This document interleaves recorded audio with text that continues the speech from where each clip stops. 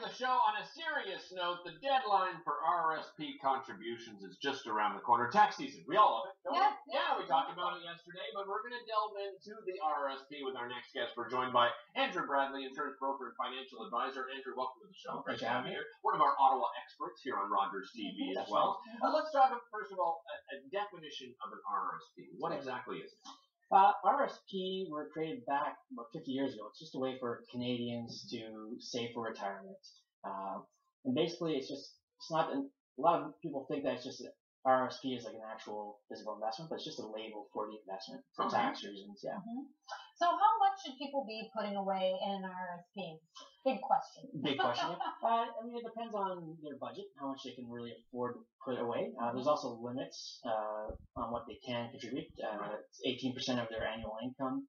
And the limit for 2013, the max you can put in is about 20, just over 23,000. Okay. So there are limits. So it's a significant amount of money, though, that you can contribute depending on, of course, your salary scale. That's right. And the, the biggest advantage too is that it, any contributions are income tax deductible. So I mean that's really the big advantage is that you get your income tax deduction, and then the money inside the RSP grows tax deferred. And I think you have examples of that, right? You sent along a couple of slides for us to have a look at, which are uh, well, you'll explain. Yeah, we, sure. We'll bring them up on screen. I won't speak for Andrew; he'll tell you what they are. So, what are we looking at here? Well, this is uh, a scenario uh, where if you have some cash on hand, so say at the end of the year you have seven thousand dollars swirled away Mhm. Right. uh, somehow. uh, Mel does, I know that. yeah, I mean, Because you know I like to swirl things away. Yeah, yeah, exactly. Melanie. You can find, you know, bills tucked in the in the Yeah. couch Right. home. Yeah. I'm just kidding. Keep keep going, Andrew. I'm sorry. There's all stop talking.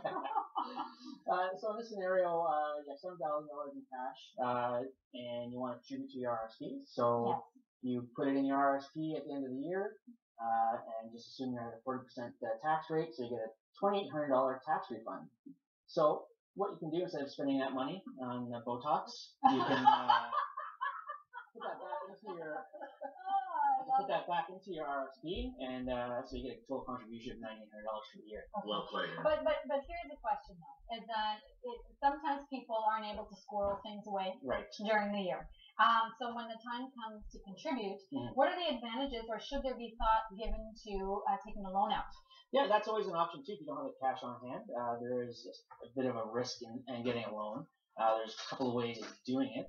Uh, the next picture I have will show one way of doing it. Uh, uh, the, the other way is just getting like a loan for, let's say you have zero dollars on cash, you want to take like ten thousand dollars, Mhm. and then just pay that off over the whatever term, 12 months, 24 months. Right. Uh, yeah. The risk of that is, uh, you know, if your investments drop or you know, some kind of interruption in your cash flow, you can't pay the loan, you default on the loan, and, and it gets kind of Then messy things get ugly. yeah, Exactly. you really need to Okay. make sure you're. All right, let's bring up uh, that that next uh, photo. We'll have a look at here. Our next slide. Yeah.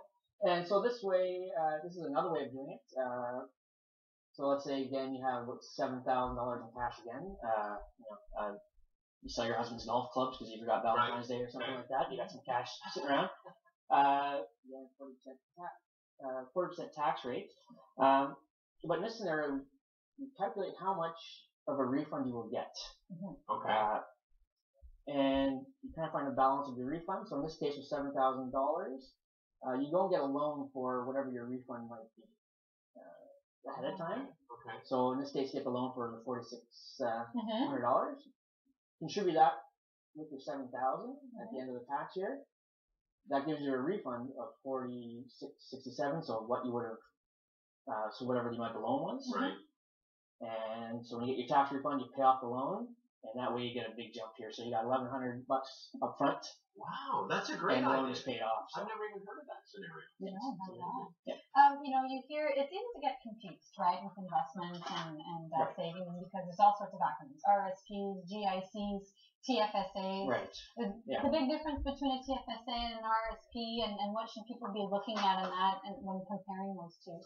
Uh, yeah, I mean, with the RSP, I mean, the biggest advantage is that you get your tax deduction uh, when you contribute. Uh, the, the investments grow tax free or deferred. Mm-hmm. Uh, so with the RSP, when you go to withdraw, that's sort of the, the big difference between uh, the RSP and a TFSA is that when you withdraw money, you have to pay back that tax that you owed. Right. Uh, Exactly. As you have to calculate that as income. Right. So if you're retired and you're on a pen, and you receive like a pension if you're a government worker, hmm you have a pension plus CPP and everything else. Uh, you know, you're withdrawing from your RSP, that bumps up your, your income level, so it may affect uh, benefits uh, that are income tested, stuff like that. So Whereas, whereas the TFSA, if you withdraw, there is no penalty. that's right. Yeah, TFSA is there's you don't get your income tax deduction, but everything is, is gross tax free. So Right. and uh, one of the biggest mis- misconceptions with TFSAs is uh, people just think it's like a savings account, so they, Exactly. they're getting you know very low interest rate, That's it. point you know two percent. Yeah. But you can have you know stocks, bonds, GICs, other kinds of investments in the TFSA. So you can, oh really? So you can make that TFSA work for you That's as right. an investment. Yeah. Okay. So it's not just simply just as a savings account where you know That's your, your it. bills come in and out. Yeah. And I have another picture here showing Sure. showing the difference really between the two. There's a little bit more to it. So, All right, Yeah, let's let's take a a look look at that. so with your uh, RSPs, uh, you know you get diversified investment options, so you can have your stocks, uh, equities, uh, GICs, cash. Right. Same with TFSA. Uh, with the RSP, again, the contribution limit for 2013 is 23,820, and for this year it is uh, uh, just over $2,400. dollars Mhm. Uh, but with the TFSA, the limit is $5,500 per year that you can put in. Okay. So the big catch with this is that if you put in over the year your $5,500, dollars Mhm.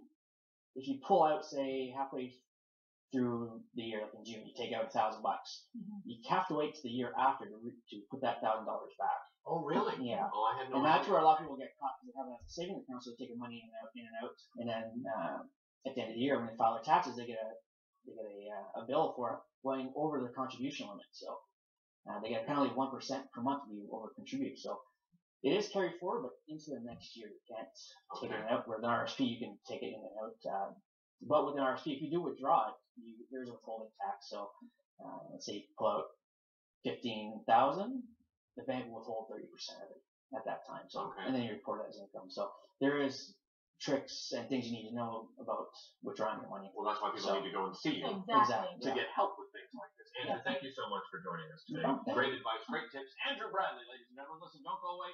Hélène Charlotte.